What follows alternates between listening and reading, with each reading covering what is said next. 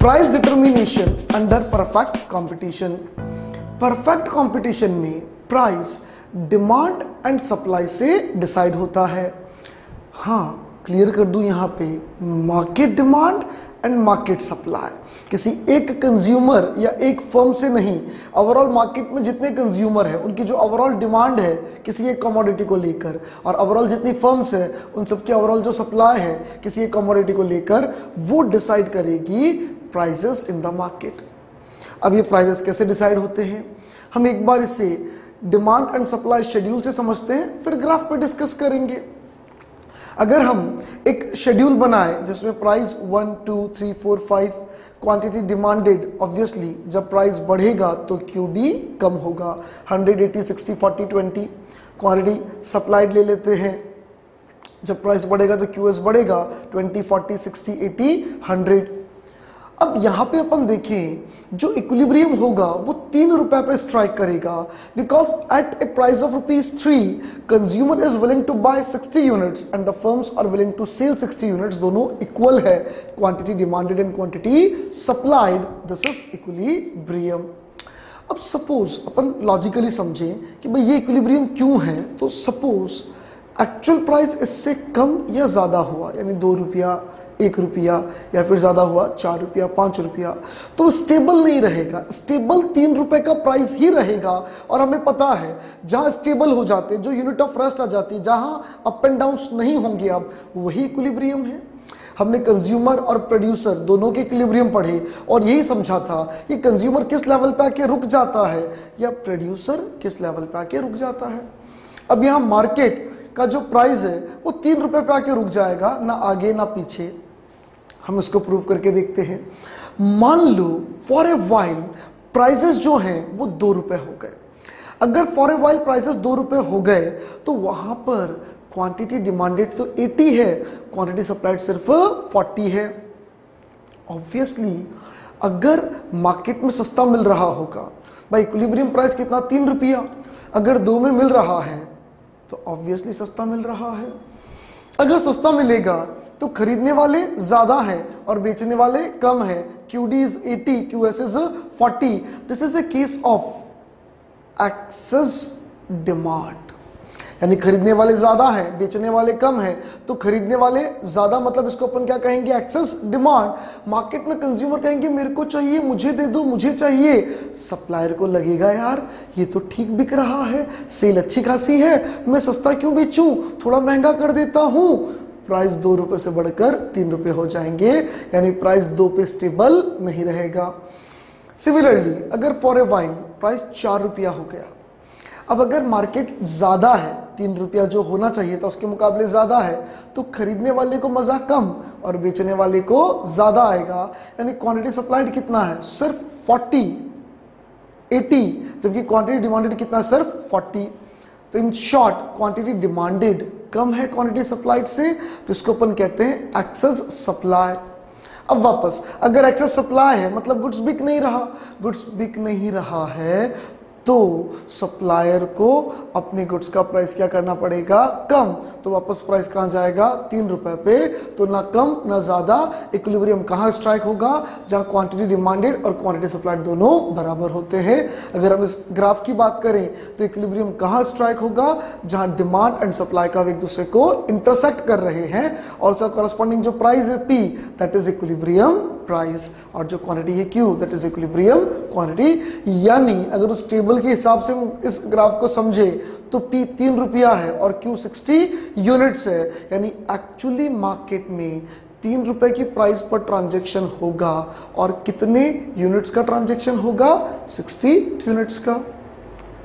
अब यहाँ पे अपन समझें एक्सेस डिमांड और एक्सेस सप्लाई के कंसेप्ट को थोड़ा सा डिटेल में। व्हाट इज़ एक्सेस डिमांड अगर एक्चुअल प्राइस इक्विलिब्रियम प्राइस से कम है, अगर एक्चुअल प्राइस इक्विलिब्रियम प्राइस से कम है तो वह खरीदने वाले लोग ज़्यादा होंगे।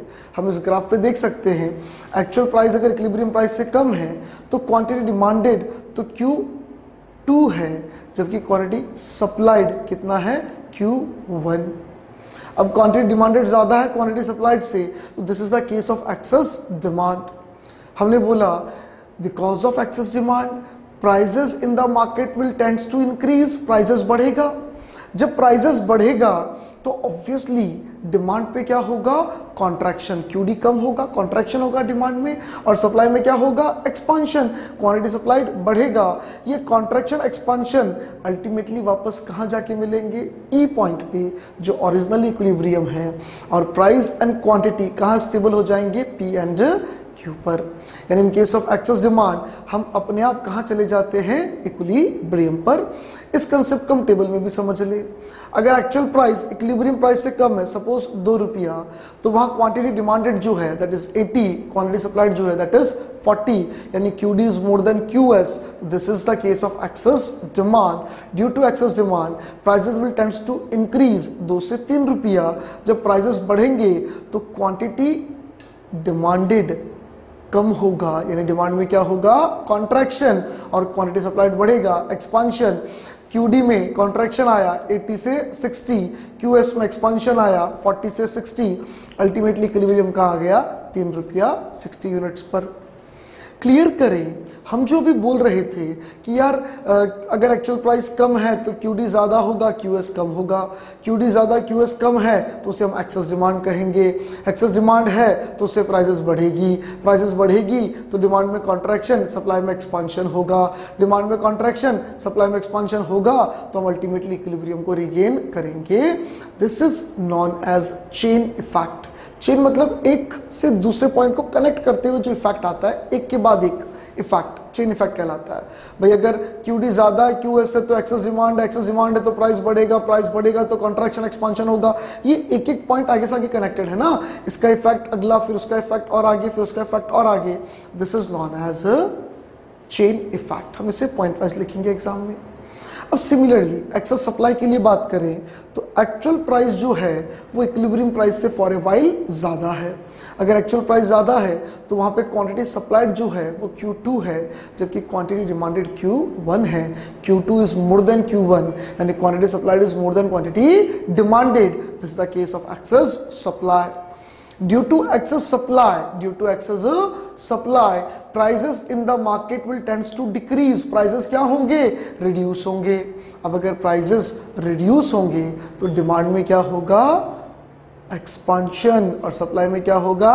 कॉन्ट्रैक्शन भाई प्राइसेस कम होंगे तो कंज्यूमर ज़्यादा खरीदना चाहेगा। डिमांड में एक्सपांशन सप्लाई में कॉन्ट्रैक्शन क्यू डी बढ़ेगा क्यू एस घटेगा और वापस कहा आ जाएँगे इक्विलिब्रियम पर ई e पॉइंट पर और प्राइस एंड क्वांटिटी कहाँ आके स्टेबल हो जाएँगे? पी एंड क्यू पर। इसे हम वापस एक बार टेबल पे डिस्कस कर ले। अगर एक्चुअल प्राइस इक्लिब्रियम प्राइस से ज़्यादा है दैट मीन्स प्राइस कितना है? चार रुपया।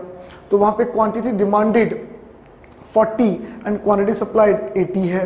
अब 80 is more than 40 then it is the case of excess supply due to excess supply prices in the market will tends to decrease जब प्राइस चार से तीन की तरफ़ जाएगा डिक्रीज होगा तो डिमांड में क्या आएगा? एक्सपांशन क्वांटिटी डिमांडेड 40 से बढ़ के कितना हो जाएगा? 60 और क्वांटिटी सप्लाइड 80 जो था, वो कॉन्ट्रैक्ट होके कितना हो जाएगा? 60 और अल्टीमेटली तीन रुपए की प्राइस और 60 यूनिट्स की क्वांटिटी पर मार्केट क्या होगा? स्टेबल ये भी क्या था? Chain effect